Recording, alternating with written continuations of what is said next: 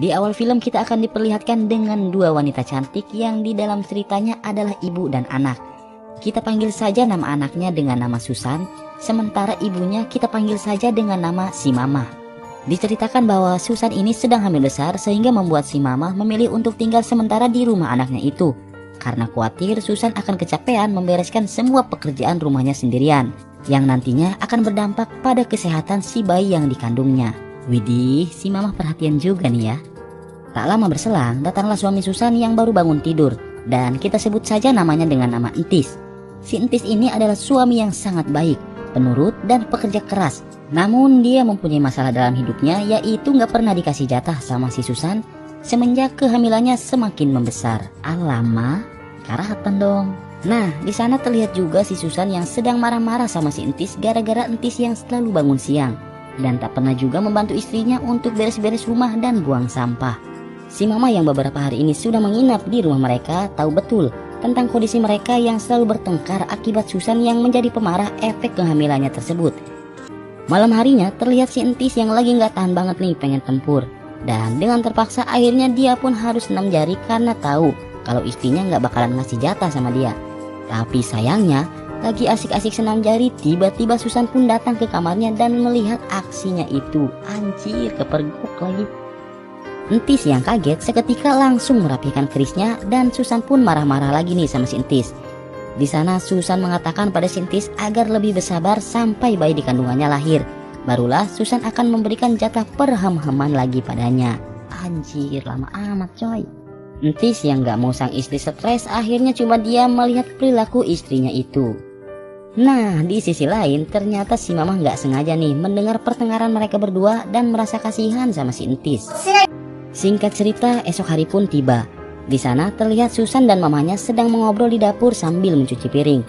Si mama kemudian bilang pada Susan agar jangan terlalu kasar sama suaminya.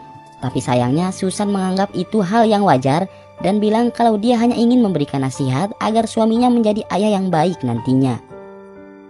Sin pun kemudian berganti ke beberapa hari kemudian. Saat Sintis mau mandi, tak sengaja dia melihat pakaian dalam milik si mama di atas mesin cuci. Entis kemudian penasaran dan ingin mencium aroma si mama sambil menghayal.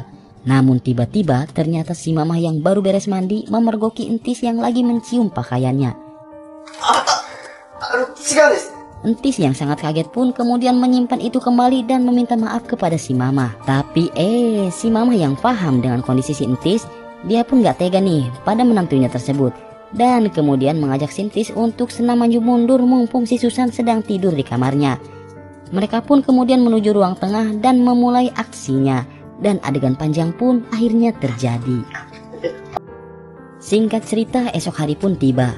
Saat sedang sarapan sebelum berangkat kerja, Sentis yang sudah terpuaskan oleh mertuanya itu merasa sangat senang dan mulai menyukai si mama. Dia pun memandangi gunung gede si mama aja nih dan si mama pun membalasnya dengan sebuah senyuman. Anjir, mulai benih-benih cinta nih antara mertua dan menantu.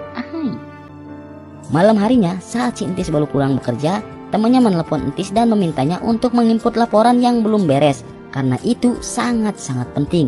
Mendengar hal itu, Entis pun kemudian lanjut bekerja nih hingga larut malam. Karena kelelahan, akhirnya Entis pun terpaksa mengambil beberapa botol minuman untuk sekedar doping. Nah, saat tugasnya sudah beres, Entis yang kebanyakan minum pun akhirnya mabuk dan salah masuk kamar. Aduh, kok bisa ya? Dia pun mengajak istrinya untuk melakukan perham-haman karena dia sudah tak tahan ingin melakukannya. Entis tak sadar kalau yang dia ajak itu adalah ibu mertuanya. Entis yang terus-terusan memaksa membuat sang mama kesal dan terpaksa harus menamparnya.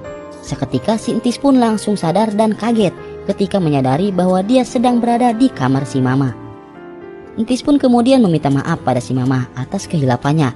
Namun karena si Entis ini sudah nggak bisa menahan lagi, Akhirnya dia pun memaksa si mama dan adegan perhamaman pun kembali terjadi. Uduh. Beberapa hari kemudian terlihat Entis yang sedang melipat baju bersama si mama. Tak lama berselang, Susan pun datang dan sangat senang melihat kedekatan sang suami bersama si mama. Susan juga membawa sebuah brosur senam yoga khusus wanita hamil yang tempatnya tak jauh dari rumah mereka. Susan yang sangat ingin mengikuti yoga kemudian meminta izin kepada suaminya agar sang suami memperbolehkannya mengikuti itu. Hal itu pun langsung direspon dengan cepat oleh Entis dan mengizinkan Susan dengan senang hati. Allah bisa aja lu tong, pinter banget cari celah. Kalau gini ceritanya kan lu bakalan sering-sering berduaan sama si mama di rumah. Ih, Mendengar hal itu Susan pun sangat senang dan kemudian langsung pergi ke tempat yoga untuk mendaftarkan dirinya. Nah karena Susan lagi nggak ada, akhirnya si Entis pun lagi dan lagi meminta jatah ke si mama untuk kesekian kalinya. Dan semenjak hari itu, Entis dan si Mamah pun lebih sering melakukan perhem-heman. Aduh. Singkat cerita, beberapa minggu pun telah berlalu. Di sana terlihat Entis, Susan, dan si Mama sedang asik mengobrol. Entah kenapa si Mama terlihat begitu galau tapi sekaligus senang. Karena melihat Susan yang sudah bisa mengontrol emosinya untuk tidak memarahi suaminya. Dan ditambah juga, Susan kini sudah mengizinkan suaminya itu untuk bisa mengham-ham dirinya. Aduh mungkin si mama ngerasa jatah buatnya bakalan berkurang gitu ya. Gak bakalan sering-sering kayak kemarin. Saat malam menjelang si mama yang sudah beberapa hari nggak diham-ham sama si entis merasa sangat pengen melakukan itu lagi. Kemudian si mama pun nekat ke kamar si entis untuk mengajaknya melakukan perham-haman. Entis yang kaget dengan kedatangan si mama langsung mengajaknya ke kamar si mama karena takut ketahuan sama istrinya dan akhirnya adegan perham-haman sama si mamah pun kembali terjadi. Di akhir film diceritakan bahwa kini si mamah juga ikut-ikutan hamil. Alama dan itu adalah hasil karya si Entis sang menantu idaman.